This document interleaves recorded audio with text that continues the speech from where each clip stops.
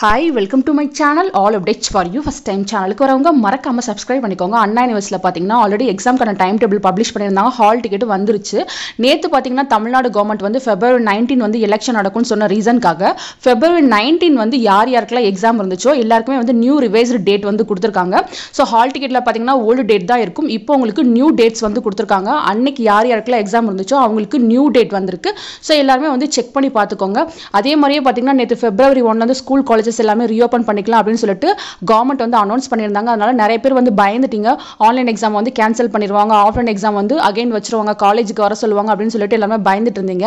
But higher education சைடில் என்ன சொல்லியிருக்காங்கன்னு பார்த்தீங்கன்னா காலேஜஸ் ரீஓப்பன் பண்ணாலும் எக்ஸாம்ஸ் வந்து ஆன்லைனில் தான் நடக்கும் அப்படின்னு சொல்லிட்டாங்க. ஸோ உங்கள் எக்ஸாம்ஸ்லாம் முடிஞ்சதுக்கு அப்புறம் தான் வந்து நீங்கள் காலேஜ் போகிற மாதிரி இருக்கும். ஸோ யாரும் ஒரி பண்ணிக்காதீங்க. உங்களுக்கு பார்த்தீங்கன்னா ஆன்லைன் எக்ஸாம் தான்.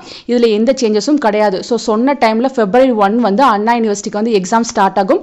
அதே மாதிரி மற்ற யூனிவர்சிட்டிக்குமே வந்து சொன்ன டேட்டில் வந்து எக்ஸாம் ஸ்டார்ட் ஆகும். யாரும் பயப்பட தேவையில்லை. இந்த ஆன்லைன் எக்ஸாமில் வந்து எந்த சேஞ்சஸும் இருக்காது.